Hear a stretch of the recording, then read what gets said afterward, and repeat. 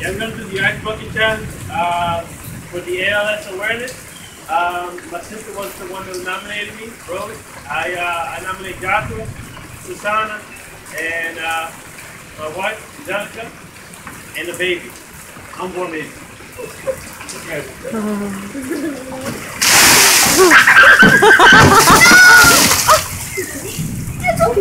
Okay.